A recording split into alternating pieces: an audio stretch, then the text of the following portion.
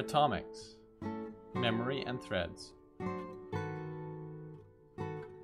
Back in the day, computers only had one CPU core.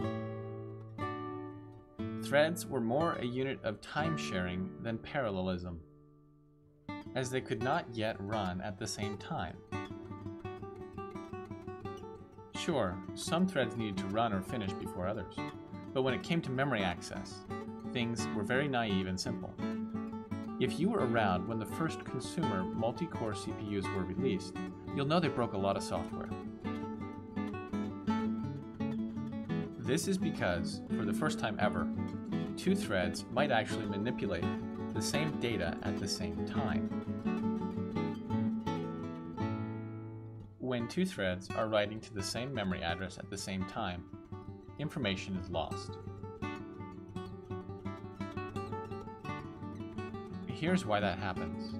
For performance reasons, each CPU core has its own cache. This cache maps to regions of the global memory. Data manipulated inside the processor doesn't appear in the global memory space until the cache is flushed.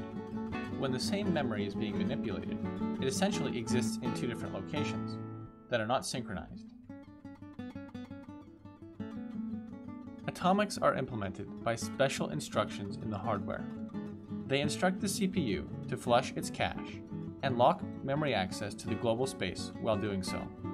This is relatively expensive and therefore not the default mode of memory access. We have to tell the computer when we want it to do this. In C++, we can use the atomic template object. When we increment this object, we know that it is safe across threads.